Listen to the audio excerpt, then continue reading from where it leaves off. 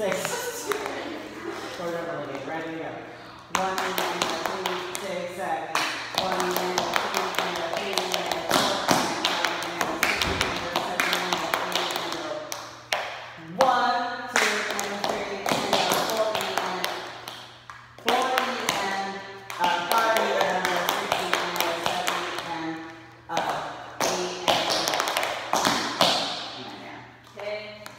Yay, yes.